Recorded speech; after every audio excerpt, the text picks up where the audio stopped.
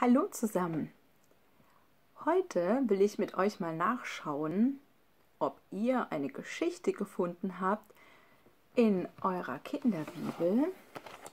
Ich habe wieder diese hier, wo es darum geht, dass Menschen gefangen waren, dass sie sich nicht so frei bewegen konnten. Und ich habe jetzt von niemandem eine schriftliche Antwort bekommen, aber ich habe gesehen, dass einige sich das Video angeschaut haben und ich glaube, es haben auch einige nachgeschaut in ihrer Bibel.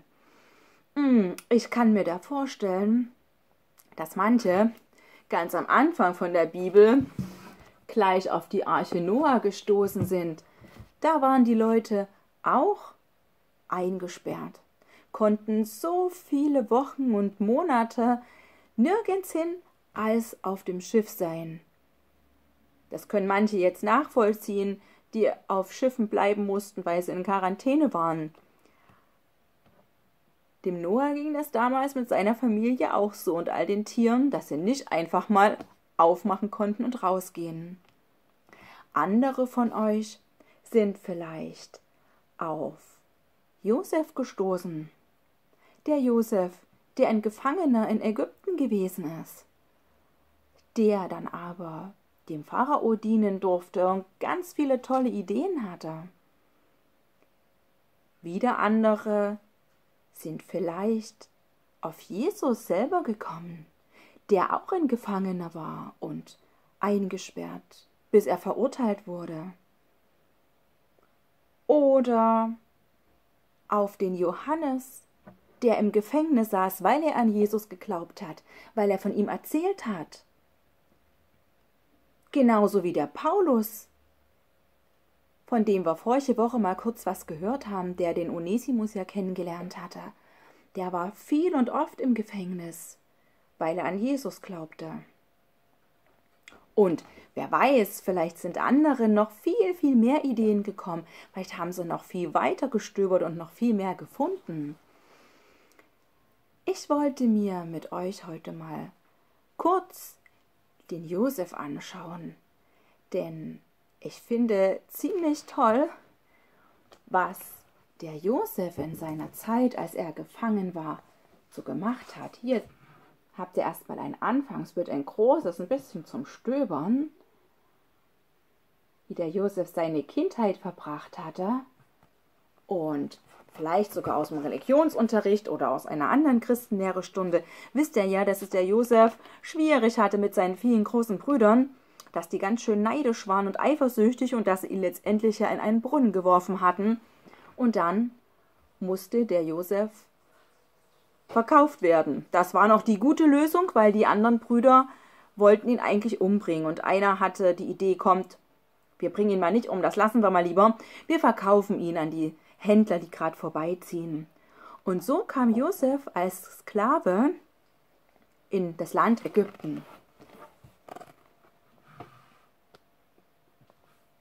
Und wisst ihr, was ich an dem Josef richtig toll finde?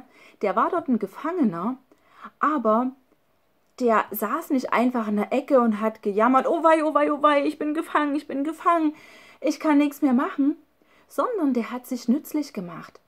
Der hat sich eingebracht, der hat dann sogar einen höheren Posten bekommen, wo er anderen Gefangenen gedient hat, wo er mit dem Aufseher zusammengearbeitet hat.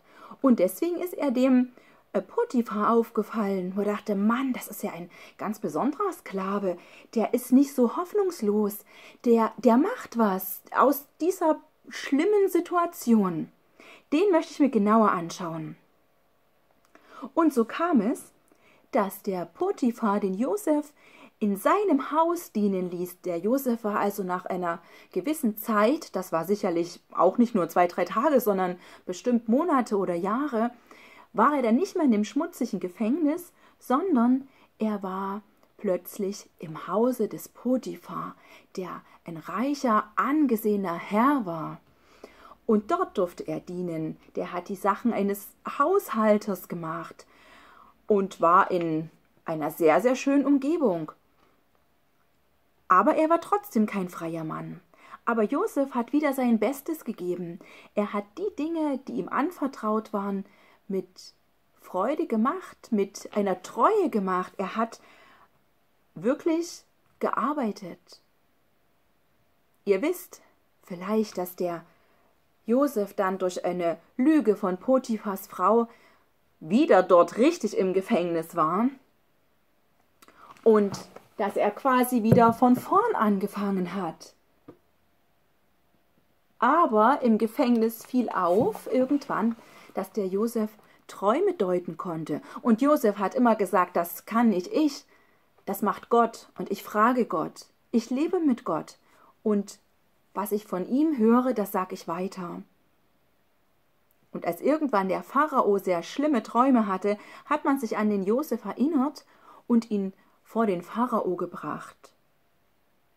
Wie ihr wisst, konnte Josef die Träume deuten.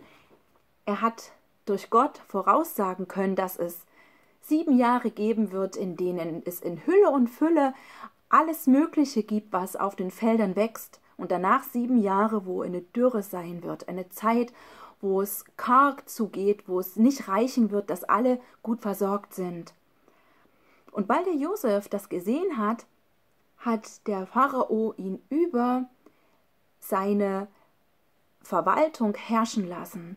Also der Josef war jetzt der zweithöchste Mann in diesem ganzen Reich. Er ist fast ganz nach oben gekommen, weil er auch engagiert war, weil er auf Gott gehört hat und weil er was gemacht hat. Er hat dann alles verwaltet, er hat das sehr, sehr gut gemacht, mit einer Klugheit, die ihm Gott geschenkt hat, und konnte somit das Land Ägypten, in dem er war, und später auch seine Familie, die dort nämlich Korn eingekauft hat, auch versorgen. Und alles nahm ein gutes Ende. Und wisst ihr, warum mir diese Geschichte so besonders gefällt? Warum ich mir die ausgewählt habe aus all den anderen Geschichten, die es da noch gibt? Weil ich es toll finde, dass der Josef nicht verzweifelt ist. Und ich finde, unsere jetzige Zeit ist schon nicht einfach. Sie ist teilweise auch schwer. Wir sind es nicht gewöhnt, nicht überall dahin zu dürfen, wo wir wollen.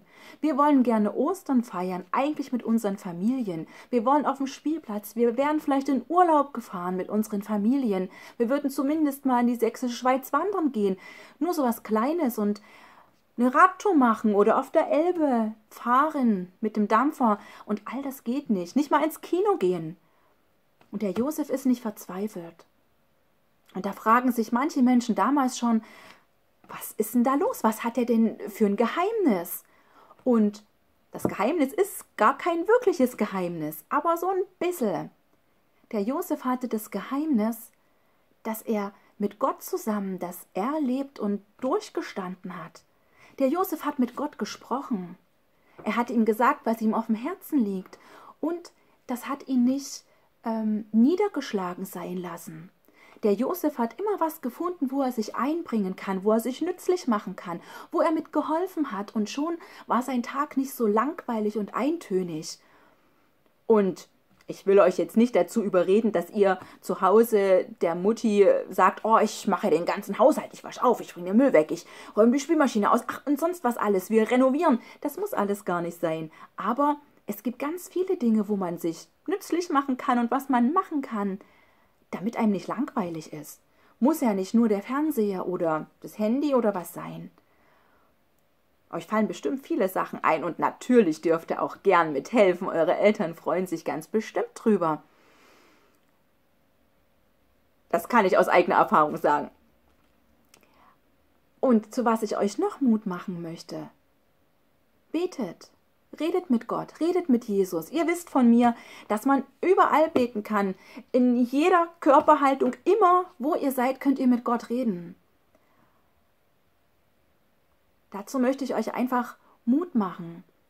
Vielleicht habt ihr Lust, wenn ihr ein bisschen mehr Zeit habt und vielleicht fast Langeweile, dass ihr euch zwei kleine Schachteln bastelt. Einfach zwei kleine Schachteln, wo ihr kleine Zettel reinlegt. In die einen Schachtel Dinge, die euch schwerfallen, die euch traurig machen, wie in unserer Feder-Stein-Runde, der Stein. Und in die andere Schachtel könnt ihr die Dinge schreiben, die euch fröhlich machen, die euch gefallen, auf die ihr euch freut. Vielleicht mögt ihr das jeden Abend machen. Und dann könnt ihr vielleicht nächstes Wochenende zu Ostern mal reinschauen und gucken, Mensch, was war denn mehr? Und was hat mich denn alles fröhlich gemacht, obwohl mich vielleicht das und das traurig gemacht hat? Oder ihr könnt es als Gebet aufschreiben, wo ihr sagt, Mensch Jesus, mich macht das traurig, mir ist langweilig, ich kann meinen liebsten Freund nicht sehen, wir wollten Buden bauen, wir wollten auf Bäume klettern. Oder ihr könnt ihm schreiben, oh Jesus, ich freue mich, dass der Papa jetzt so viel zu Hause ist. Wir haben Zeit, zusammen Mittag zu essen und der hat sogar mal Zeit für ein Spiel, sonst muss er immer so viel auf Arbeit sein. Ich mache euch Mut. Sammelt das mal für euch, schreibt es mal auf. Und dann schaut rein und seid gespannt, was jeder Tag so gebracht hat.